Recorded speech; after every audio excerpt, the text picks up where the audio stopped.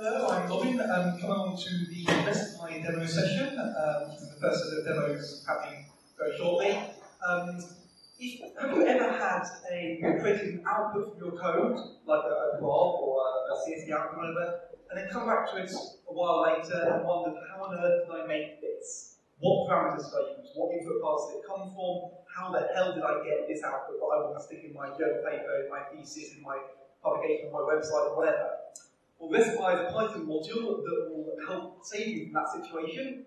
It's stupidly, stupidly easy to use. It involves one line of code, and we're going to explain roughly how it works, demo it, including some unreleased features. If you've heard of recipy before, if you saw it last year at the uh, Hack Day, it's changed quite a bit since then, so come and have a look anyway. Um, and then we're going to talk about where to go next with that. So um, it should be a good discussion, potentially some Hack Day projects